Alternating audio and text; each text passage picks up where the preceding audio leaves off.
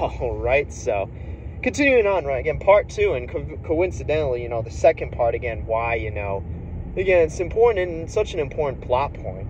Uh, again, why it does, it has importance there is again because besides showing that you know there are other mechanisms for power besides gambling, you know, again, also what it does is that it certifies or cements or like I guess refines what would you call it? Um Yumeko's character in that sense. Cause we know besides because we know obviously she told Ryota to go get Mary.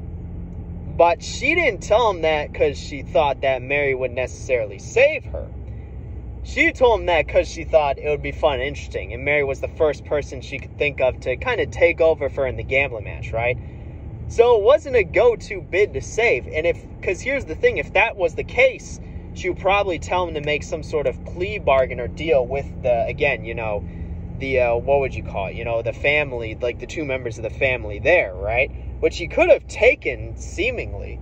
But again, no, she told him to go get Mary, right? Because that would, she would be a worthy, like, replacement. And that, that would keep things fun and interesting, right? So it shows that, again, kind of similar to the one-eyed crazy, uh, student council member, uh, again, she has, again, she's willing to put, well, again, she, the, the student council member, again, she, she just does it, again, for that uh, pain, right? You know, for that, uh, what would you call it? Um, a loss, I guess, right? But that, again, similar to her, like, Yumeko is perfectly willing to risk her life, right? Again, not necessarily doing it out for, like, the pain and for the masochism, right? Chism that again, the student one-eyed crazy student council member girl is doing it for. She's doing it inherently for that risk itself. Again, we saw her literally what was it? Again, you know, in in her uh, gamble against you know Kaede, right? We saw that lives were willing to be raised uh, for the stake, right? Again, and for the uh, uh, what would you call it? For the gamble, right? So that's just another instance of that here, and it goes to again kind of cement her character and kind of cement the fact that she prioritizes that overall, even her own life again, not like in drawing the important difference here, distinguish here, right? Distinction here to distinguish between her and one the one-eyed student council crazy uh, like student council member girl. Uh, again, that's something to where she what would you call it? Again, she just does it because she enjoys the pain. She's a masochist, right? And she wants her life to be taken. Yumeko does it for the gamble and for the inherent risk involved, right?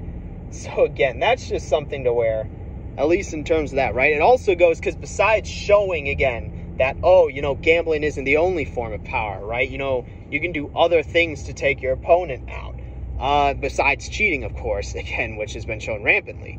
It also cements Yumeko's character and her, again, sort of, I guess, involvement and her sort of, again, outlook and worldview, like, and beliefs when it comes to, like, again, the school and then that kind of stuff, right? It's even mentioned that pretty much once she showed up to the school, things kind of, you know, again, that was when things started, you know, changing, right? Because again, she doesn't do it for any other reason other than the fucking gamble itself, right? Shooting for the high stakes, you know, the highest stakes of all, right? And more than willing to stake her own life as a result.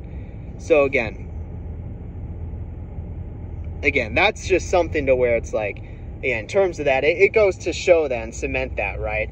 As opposed to, again, anything else involved where it's like, okay, you know, oh, there was a fail safe. Oh, there was a backup, right? No, this was a this was a gamble, right? That she took. Uh, and again, it's just it, it's such a good plot point. And it's such a genius like kind of thing to show. Again, that okay, gambling isn't all that matters. You know, you can use shit like fucking poison and get away with it, right?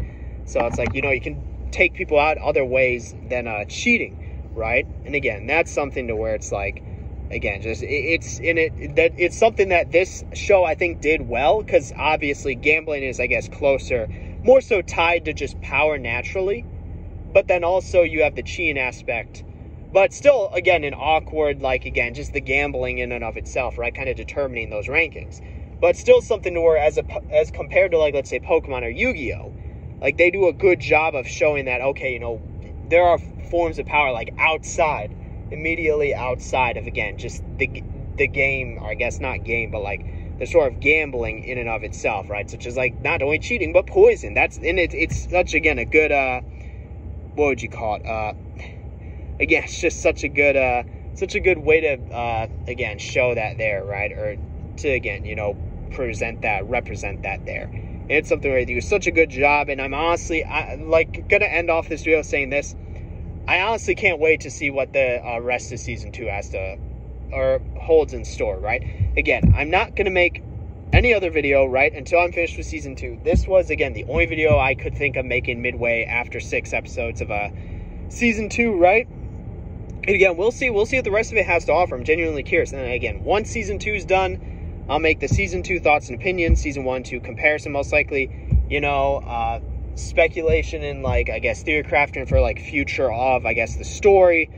Um, I'll also and then after I'll watch Kakegurui Twin, uh, rewatch it. Right, probably make another video on that because uh, I only made the one so far, and then comparing that to the actual show. Now that I watched the show. Then I'll watch the live action version of Kakegurui and probably make a video on that, right? Just again, be interesting, interesting there. And again, because here's what I'll say, right? I watch the show in dub. If there's a dub for an anime, I'll watch it. Live action shows, I usually watch in sub. Like, I guess this is a this is kind of fucking meme example, right? But when I watch Squid Game, I watch it in sub because, like, if you watch it in dub, you know the mouth movements aren't right. In anime, I'm not paying fucking enough attention to their mouth movements, right? But in live action, again, it's just apparent, right? So it's something to where, again, right? In terms of that, uh, yeah, watching that in, what would you call it? Um, so I'll probably end up watching Kakegurui, the live action, in sub. And then again, you know, from there, maybe I'll, I'll, probably, I'll probably make an art video after that. But we'll see, and we'll compare it to the actual show. I'm genuinely curious, right? So do a long stint of Kakegurui, and once this is done, I'll move on to an art show. But with that, I don't think I really have anything else to say. That's all I've got for this one. So, yep. That's it for this one. See you in the next one.